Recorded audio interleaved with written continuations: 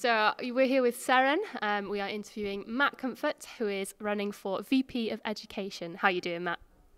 I'm great, thanks. How are you? I'm not bad, thank you. So tell us a little bit about yourself. What do you study? How long have you been here? I study English language. I've been a course rep for three years, and I'm also in my third year here in Bangor. And what makes you um, a unique candidate for the role? Well, I'm very driven. I've got a lot of experience with people, partly owing to the fact that I've lived all around England um, and being a course rep. Uh, and I have a big passion for connecting the uni together. So, why should people vote for you more specifically? Well, like I said before, I consider myself very driven uh, and I love people as well, which I think is extremely important in this job.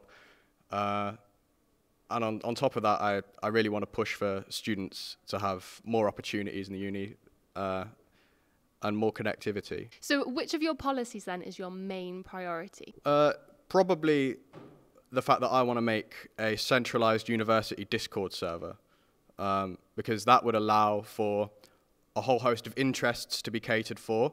Uh, and on top of that as well, it'd mean university information could be quickly delivered to students very quickly and efficiently. Um, and that sort of intermingles with uh, my what I want to do for mental health, um, such as create a student support network and have alumni come in and do talks for students.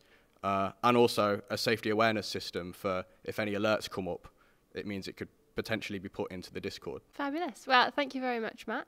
Um, thanks for talking with us, uh, and uh, good luck for the Thanks. elections.